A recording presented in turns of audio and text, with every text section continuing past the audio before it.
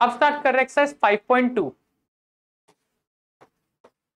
Exercise 5.2 में हमने एक फॉर्मूला लिखना है। फॉर्मूला नंबर फिफ्थ है ना हमारे नोट्स में? क्या है? फाइंडिंग द एंथ टर्म क्या है बेटा? फाइंडिंग द एंथ टर्म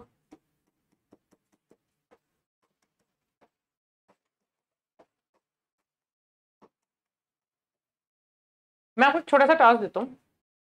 और एक ये सीरीज़ चल रही है बेटा। One four seven ten, thirteen, sixteen. अभी तक कितनी है इसमें नंबर्स छह नंबर है ना?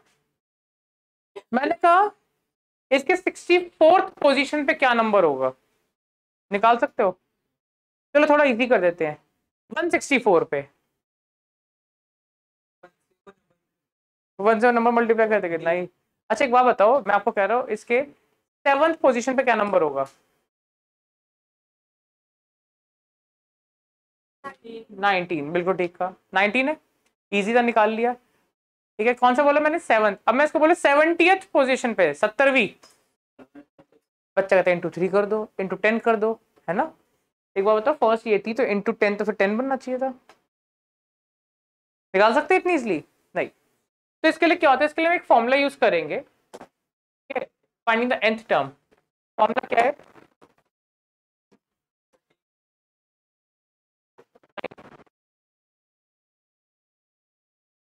N minus one d a plus n minus one d अब ये यूज़ कैसे होता है वो मैं आपको सिखा रहा हूँ।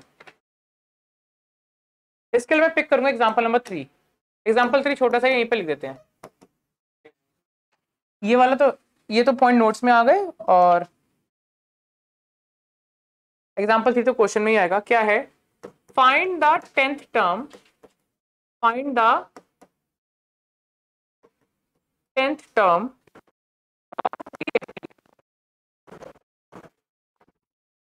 two seven twelve सबसे पहली चीज़, एक बात सुन लो। रीडिंग का वे जान लो। रीडिंग का वे जान लो। Find the tenth term of the AP कभी भी एपी सीरीज़ रीड नहीं करनी। अक्सर बच्चा ये गलती करता है। क्या? Find the tenth term of the AP two seven twelve कभी भी नहीं रीड करनी अगर क्वेश्चन चाहते इजीली समझ आए। पॉइंट क्लियर उसको बाद में अलग से करो। अब फ़िलहाल क्वेश्चन में कहता क्या है? क्या निकालना है? टेंथ टर्म किससे रिप्रेजेंट करेंगे? ए टेन से। ए टेन से। इसका मतलब टेंथ टर्म की दसवीं पोजीशन पे कौन सा नंबर है? नहीं ये बात समझ? दोबारा समझाओ ओके क्या समझ गया पहले? क्वेश्चन हाँ तो फिर क्या? अभी तक यहीं से समझाया मैंने। तो टेंथ टर्म क्या निकालना है बेटा? ए टेन कि दसवीं पोजीशन पे कौन सा नंबर है? यानी यहाँ पे पोजीशन गिवन है? यस और नो ए टेन निकालना है। ओके इस क्वेश्चन में ए क्या बेटा मेरा? टू डी क्या है? डी फाइव है। करके डी लिख के दिखाना होगा ऐसे। A two minus seven no direct करो। फाइव लिखो। अब ए एन का फॉर्मूला लिखो। क्या है? A plus n minus one d a n, यानी ए टेन, ए की जगह क्या लिखूँगा? टू, एन की जगह, टेन माइनस वन, डी की जगह, फाइव। तो टू प्लस कितना हुआ ये? Nine into five, that is forty five. कितना हुआ मेरा बच्चा? Forty seven. क्लियर या कंफ्यूजन क्लियर या कंफ्यूजन कंफ्यूजन कहाँ पे बेटा? तो आप बोलना, जिस लाइन पे कंफ्यूजन आई है। ए क्या निकाला? ए क्या स्टार्टिंग नंबर क्या है? टू ए की जगह टू डाला. एन कौन सी पोजिशन निकालनी है? एन की जगह टेन माइनस वन डी कितना निकाला? गैप कितने का है? पाँच पाँच का है? ठीक है? एक क्वेश्चन हूँ करके दिखाओ मेरे को।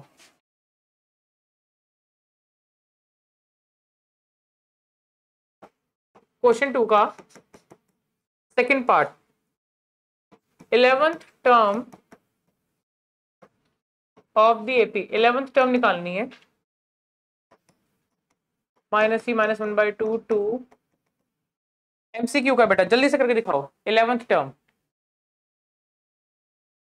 okay find the eleventh term eleventh term निकालनी है बेटा। अब इस सीरीज़ में ए क्या हुआ आपका? माइनस थ्री और d a two minus a one a two कितना है?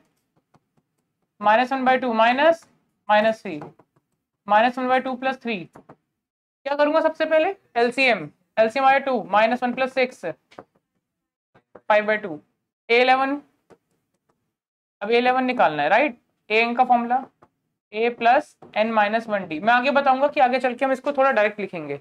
अभी हर बार फॉर्मूला लिख रहा हूँ, वो कर रहा हूँ। दो लाइन का टाइम बचेगा। तो ए इलेवन ए कितना है? माइनस थ्री एन की जगह इलेवन माइनस वन डी की जगह तो minus c plus ten into five by two. कितना हो जाएगा sir? Minus c plus twenty five. कितना हो जाएगा? ये आंसर आ गया। Was it tough homework time ज़्यादा होमवर्क नहीं आज। ठीक है? तो आज हम कर रहे हैं एक्सरसाइज 5.1 ठीक है फुल आ गई। क्वेश्चन नंबर वन छोड़ देना। Example number one two three